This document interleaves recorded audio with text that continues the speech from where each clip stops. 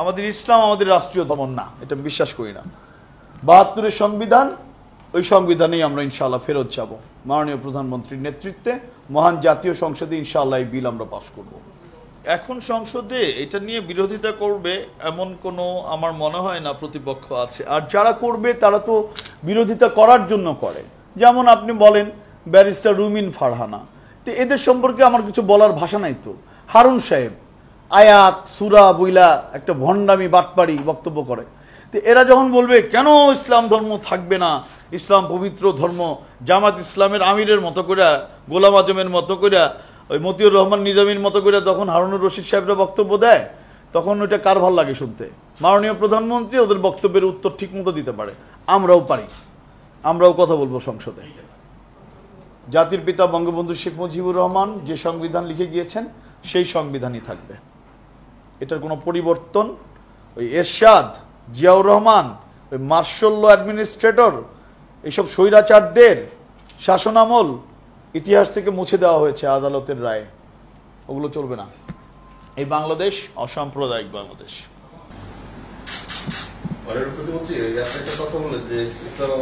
ধর্ম না, এটা আপনার ব্যক্তিগত মত?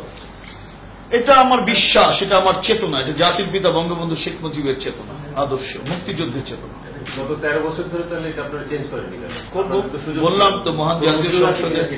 মহান জাতীয় সংসদে এটা আমরা এই বিল আমরা আনব এবং এই ইসলাম ধর্ম আমাদের রাষ্ট্রীয় ধর্ম এরকম কোনো কথা সংবিধানে ছিল না এটা বলেছি তো এটা এরশাদ সাহেব করেছেন এরশাদ সাহেব সম্পর্কে আমি কোনো মন্তব্য করতে রাজি না। তার সম্পর্কে একটা বিশ্ব বেহায়া সম্পর্কে কথা বলার রুচি এবং মানসিকতা কোনোটাই আমার নাই।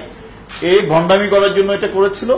জাতির পিতা বঙ্গবন্ধু শেখ মুজিবের সংবিধানে হাত দেওয়ার সাহস একজন লেফট রাইট করা জেনারেল কোথেকে পায়? এটা হবে না।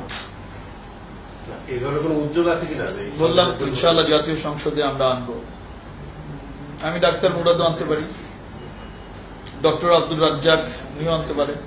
যে কোনো মেম্বার অফ পার্লামেন্ট আনতে পারে। তিনশো পঞ্চাশ মাননীয় সংসদ সদস্যদের যে কোনো একজন আমরা এটা প্রস্তাব উত্থাপন করতে পারি।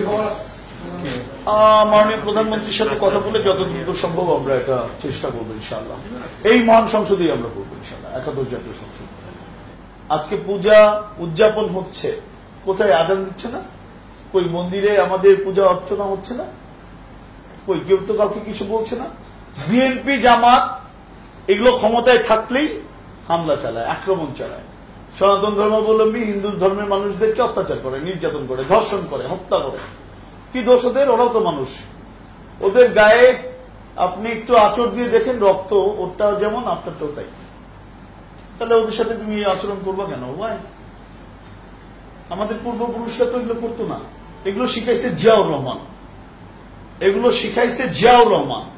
এগুলো শিখাইছে মতিউর রহমান নিজামী। এগুলো শিখাইছে গোলাম আজম। এই রাজাগারের বাচ্চারা। যে এইবার পুজোয় মাননীয় প্রধানমন্ত্রী প্রত্যেক মণ্ডপে পাঁচশো কেজি করে চাল, প্লাস প্রতি মণ্ডপে আলাদা করে চেক বিতরণ করেছে, নগদ অর্থ। এটা আমার নির্বাচনী এলাকা, জামালপুর জেলার সরিষাবাড়ি উপজেলা এই উপজেলায় আমার তেতাল্লিশটি মণ্ডপ আছে। প্রত্যেক মণ্ডপের জন্য ধর্ম মন্ত্রণালয়ের মাধ্যমে সাড়ে তিন হাজার করে টাকার চেক আমি বিতরণ করেছি নিজে, মাননীয় প্রধানমন্ত্রীর পক্ষ থেকে, ধর্ম মন্ত্রণালয়ের মাধ্যমে। আমাদের ধর্ম প্রতিমন্ত্রী জনাব ফরিদুল হক খান দুলাল, উনি সারা বাংলাদেশে প্রত্যেক পূজা মণ্ডপের জন্য এটা বিতরণ করেছে। আপনারা অবাক হবেন শুনলে যে কোটালীপাড়া, মাননীয় প্রধানমন্ত্রী নির্বাচনী এলাকায় দুইশো নব্বইটি পূজা মণ্ডপ। এটি বাংলাদেশের পঞ্চাশ বছরের ইতিহাসে দুইশো নব্বইটি পূজা মণ্ডপ একটি উপজেলায়। অবিশ্বাস্য। তো এটা সম্ভব কারণ মাননীয় প্রধানমন্ত্রী আজকে বাংলাদেশের নেতৃত্ব করছেন। আজকের বাংলাদেশ অসাম্প্রদায়িক বাংলাদেশ, আজকের বাংলাদেশ গণতান্ত্রিক বাংলাদেশ, আজকের বাংলাদেশ আমাদের সকল ধর্মবর্ণের মানুষের, আমাদের বাংলাদেশ, এই বাংলাদেশ সবার, এটা কোনো আলাদা করে ধর্মবর্ণ আমি বলি না, কোনোদিনই বলব না যে এটা ইসলাম ধর্মাবলম্বীদের বাংলাদেশ, এটা মুসলমানদের বাংলাদেশ, এটা কখনোই তা ছিল না। এটা তিরিশ লক্ষ শহীদের রক্ত দিয়ে কেনা বাংলাদেশ। আমাদের সংবিধানের চারটা মূলনীতি যেন আমরা ভুলে না যাই।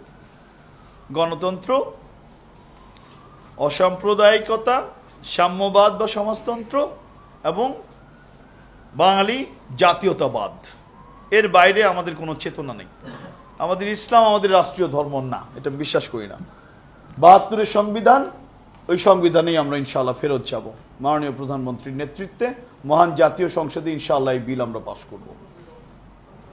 জাতির পিতা বঙ্গবন্ধু শেখ মুজিবুর রহমান যে সংবিধান লিখে গিয়েছেন, সেই সংবিধানই থাকবে। এটার কোনো পরিবর্তন ওই এরশাদ, জিয়াউর রহমান, ওই মার্শাল অ্যাডমিনিস্ট্রেটর এইসব স্বৈরাচারদের শাসনামল ইতিহাস থেকে মুছে দেওয়া হয়েছে আদালতের রায়ে। ওগুলো চলবে না। এই বাংলাদেশ, অসাম্প্রদায়িক বাংলাদেশ। এখানে ধর্মনিরপেক্ষতাই থাকবে, যার যার ধর্ম শেষে তার তার মতো করে পালন করবে। আমরা জামালপুর শহরে আমাদের প্রধান মসজিদ এবং প্রধান মন্দির একসাথে। একটা বাউন্ডারি ওয়াল শুধু। ওখানে আজানো হয় আবার মন্দিরে পূজাও হয়। কেউ কাউকে কিছু বলে না। এটা আমাদের জামালপুর। এরকম নিদর্শন বাংলাদেশে বহু আছে। আজকে পূজা উদযাপন হচ্ছে। কোথায় আজান দিচ্ছে না? কই মন্দিরে আমাদের পূজা অর্চনা হচ্ছে না? কই কেউ তো কাউকে কিছু বলছে না? বিএনপি জামাত এগুলো ক্ষমতায় থাকলেই হামলা চালায়, আক্রমণ চালায়। সনাতন ধর্মাবলম্বী হিন্দু ধর্মের মানুষদেরকে অত্যাচার করে, নির্যাতন করে, ধর্ষণ করে, হত্যা করে। কি দোষ ওদের? ওরাও তো মানুষ। ওদের গায়ে আপনি একটু আচর দিয়ে দেখেন, রক্ত ওরটাও যেমন, আপনারটাও তাই। তাহলে ওদের সাথে তুমি আচরণ করবা কেন? ওয়াই আমাদের পূর্বপুরুষরা তো এগুলো করতো না। এগুলো শিখাইছে জিয়াউর রহমান। এগুলো শিখাইছে জিয়াউর রহমান। এগুলো শিখাইছে মতিউর রহমান নিজামী। এগুলো শিখাইছে গোলাম আজম। এই রাজাগারের বাচ্চারা। করেছে, এরা তো বাংলাদেশেই বিশ্বাস করে না। ওরা এই বাংলাদেশকে অস্থিতিশীল করতে চায়, নৈরাজ্য করতে চায়। বাংলাদেশে আমাদের সনাতন ধর্মাবলম্বী বা যারা সংখ্যালঘু, তারা যেন শান্তিতে থাকতে না পারে। এর মাধ্যমে বহির্বিশ্বের কাছে প্রমাণ করতে চায় যে বাংলাদেশে কোনো সুশাসন নাই। আমার সরকার এই মানসিকতায় বিশ্বাস করে না। আওয়ামী লীগ সরকার এই মানসিকতায় বিশ্বাস করে না। মাননীয় প্রধানমন্ত্রী বঙ্গবন্ধু কন্যা এই মানসিকতায় বিশ্বাস করে না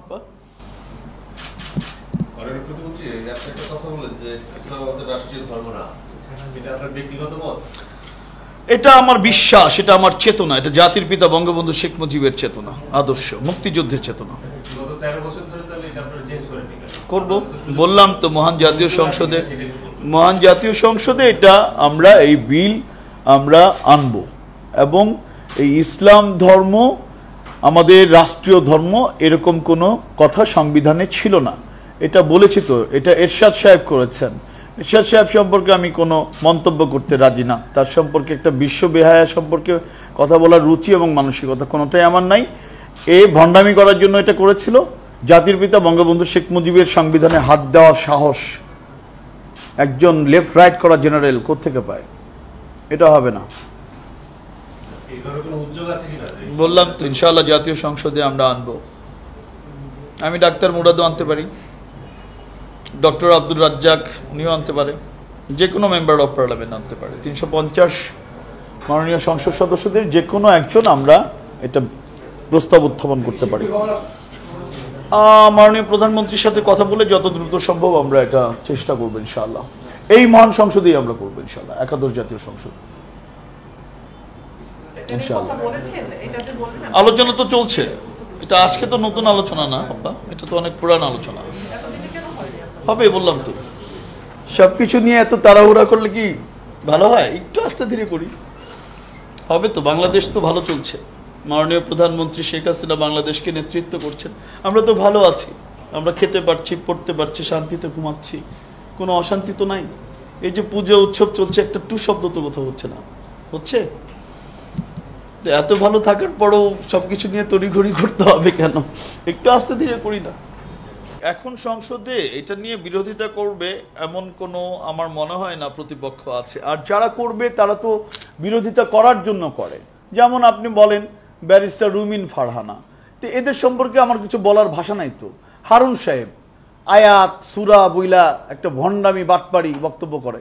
তো এরা যখন বলবে কেন ইসলাম ধর্ম থাকবে না? ইসলাম পবিত্র ধর্ম। জামাত ইসলামের আমিরের মতো করে গোলাম আজমের মতো করে ওই মতিউর রহমান নিজামীর মতো করে তখন হারুনুর রশিদ সাহেবরা বক্তব্য দেয় তখন ওইটা কার ভালো লাগে শুনতে? মাননীয় প্রধানমন্ত্রী ওদের বক্তব্যের উত্তর ঠিক মতো দিতে পারে। আমরাও পারি। আমরাও কথা বলব সংসদে। পালন করতে না করছে গেলা হু সে নো আমরা জাতীয় মসজিদে নামাজ পড়ব সমস্যা নাই তো? কে না করছে? জান না, আপনি হাজার হাজার মসজিদ ঢাকা শহরে, ঢাকাকে বলা হয় the city of mosque the city of mosque কে না করছে? তার মানে কি মন্দির করা যাবে না? বৌদ্ধদের মন্দির থাকবে না? প্যাগোটা থাকবে না? গির্জা থাকবে না? থাকবে না কেন?